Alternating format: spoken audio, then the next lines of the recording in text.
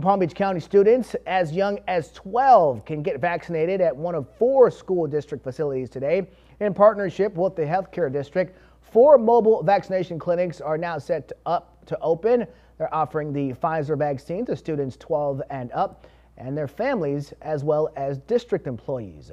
You do not need an appointment. The school district stresses the vaccinations are strictly voluntary. Each site, though, is open on a specific day. Right now, the school district headquarters over on Forest Hill Boulevard is open for vaccinations until 4 o'clock.